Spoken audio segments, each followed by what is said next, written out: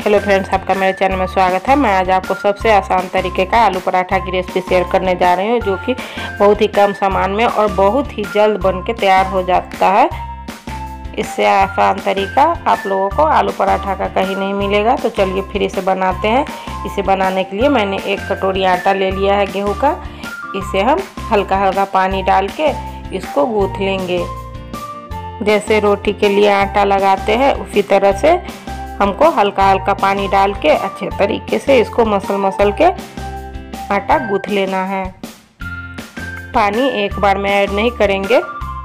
आप देख सकते हैं किस तरह से हम चारों तरफ़ से इस तरह से मिलाते हुए अच्छे तरीके से आटे को गूँथ रहे हैं। आप ये आलू पराठा की रेसिपी एक बार ज़रूर बनाइएगा। आप लोगों को बहुत पसंद आएगा और ये बहुत ही जल्द बन जाता है और बिना कोई झंझट के। आप देख सकते हैं। अब आटा गूँथ के रेडी हो चुका है। अब हम इसे साइड में रख देते हैं। इधर स्टफिंग के लिए हमने एक बड़ा आलू ले लिया है, उबला हुआ। इसको मैसर से मैश कर लेंगे, आप देख सकते हैं। अब हम इसमें एक छोटा प्याज को बारीक काट के ऐड कर देंगे और एक हरी मिर्च को भी बारीक काट के ऐड करेंगे। हरी मिर्च डालने के बाद इसमें हम बारीक कटा हुआ हरा धनिया और टेस्ट के अकॉर्डिंग नमक ऐड करेंगे। आप देख सकते हैं, अब हम इसमें नमक ऐड कर चुके हैं। अब इसमें आधा छोटा चम्मच अजवाइन भी ऐड कर देंगे।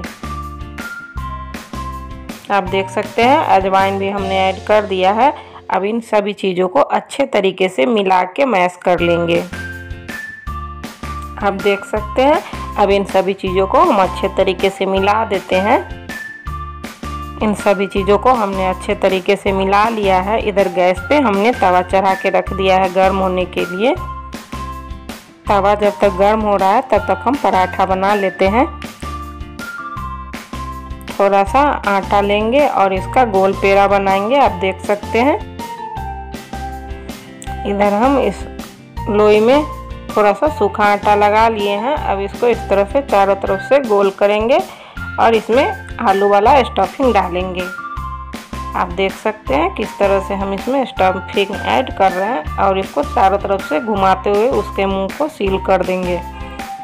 और हल्के हाथों से प्रेस करके फिर से इसमें हल्का सा सूखा आटा लगा लेंगे और इसको हल्के हाथों से ही चारों तरफ़ से घुमाते हुए इसका पराठा बना लेंगे। पराठा बेलने के बाद अब हम इसको तवा पे डाल देते हैं। आप देख सकते हैं, हमने पराठा को तवा पे डाल दिया है। अब इसको दूसरे तरफ़ से भी पलट दे रहे हैं। जब आलू का पराठा पीछे से सीख जाएगा अच्छे तरीके से, तब हम इसके ऊपर से रिफाइन लगाएँगे। आप चाहें तो इसके ऊपर बटर भी लगा सकते हैं। पराठा के पीछे तरफ़ से सीख चुका है, अब हम इसके ऊपर रिफाइन लगा दे रहे हैं, आप देख सकते हैं। अब हम पराठों को दूसरी तरफ़ से भी पलट देंगे और अच्छे तरीके से फिर से एक बार रिफाइन लगा देंगे। दोनों तरफ़ से पराठा को अच्छे तरीके से सेक लेंगे। आलू का पराठा बन के तैयार है खाने के लिए। आप इस आलू के पराठा की रेसिपी को बनाइए और खाइए, अगर आपको ये रेसिपी पसंद आए। तो प्लीज़ मेरे चैनल को सब्सक्राइब करें लाइक करें और कमेंट करना ना भूलें। Thank you